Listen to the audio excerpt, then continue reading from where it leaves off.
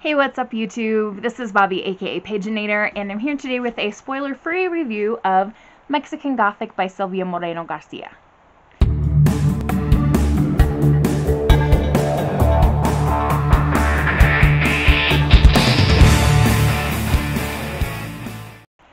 This book is indeed a very gothic story. It takes place in the 1950s in Mexico, and we follow our main character Noemi, who is kind of just living the rich girl life. Her dad can afford to send her to university for however long she wants, so she's kind of flitting from program to program and she's settled on anthropology that she's really, really interested in. So she's flirted with a few boys here and there, and there's kind of one boy back home that's uh, kind of a good marriage prospect for her, but she's not super into him. And her cousin Catalina, who was recently married and moved away, um, writes to her and the letter is uh, startling, a little bit alarming, and so Noemi and her father are both concerned, and so Noemi is sent to visit Catalina and make sure that she's okay. So Catalina married this dude that uh, his name's Virgil, and he uh, he comes from a family who are of British ancestry but live in Mexico in this house up in the mountains that's like a mansion and it's kind of old and moldy and crumbling and it's just not a pleasant place. And uh, when she gets there, Noemi um, goes to see Catalina and Catalina's like, oh, no, no, I just have tuberculosis. Things are fine. You didn't need to worry about me or come all the way here there's nothing wrong, I promise. Even though her initial letters were like suggesting that something was wrong with the marriage and the way she was being treated. So, um, so Noemi decides to stay for a while and investigate because that's not like her cousin to just be like, oh, just kidding. She doesn't do that.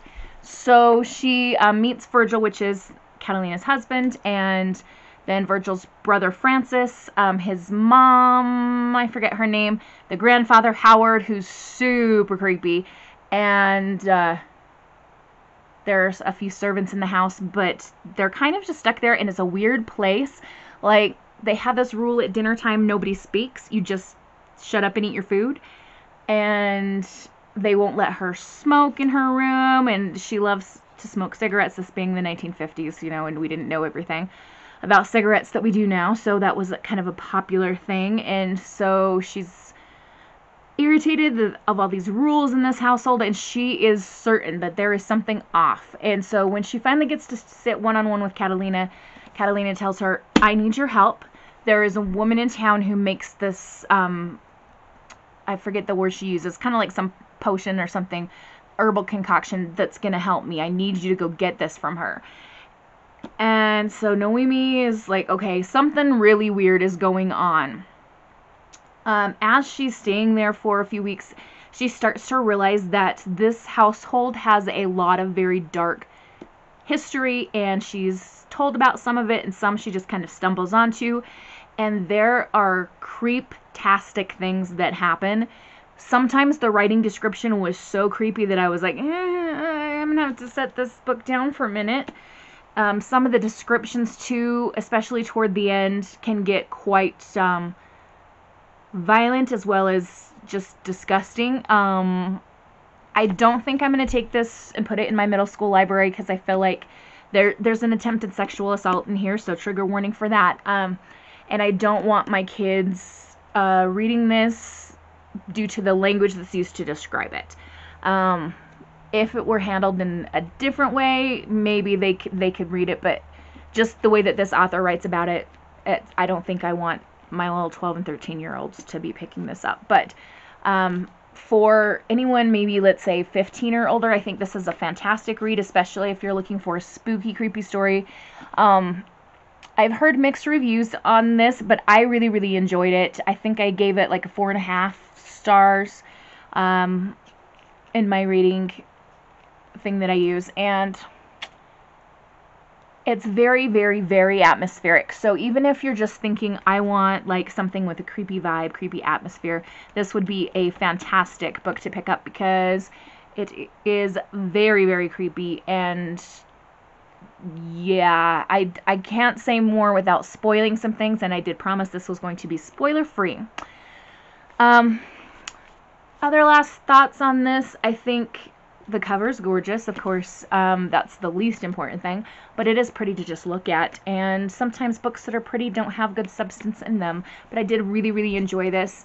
Um, in terms of Mexican culture, there's not a lot going on there. We do have, um, we are told that some characters speak Spanish, but it's all written in English, so you don't need to know Spanish to understand any of this. Um, and the household that Noemi visits is very British because of the British ancestry. So we don't get much in terms of Mexican culture, which I was kind of missing a little bit. I thought since it was spooky and set in Mexico, we would have a little Dia de los Muertos vibes in there, but that wasn't really present. Um, I think that's like the only deduction that I could really take away from it, which is why it was four and a half and not five stars. But again, very, very enjoyable read, and I would definitely recommend it um, with the caveat that you're maybe like 15 or older just because of the sexual assault content that happens there. So there we go. I hope that you all are having a wonderful and bookish day. I should be getting my FairyLoot box very soon, so hopefully we can have that to look forward to and other fun bookish things. Happy reading! Adios.